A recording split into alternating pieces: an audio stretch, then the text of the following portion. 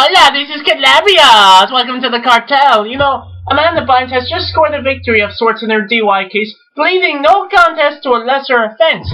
Now, Amanda was arrested in April of 2012 in West Hollywood, charged with the DUI.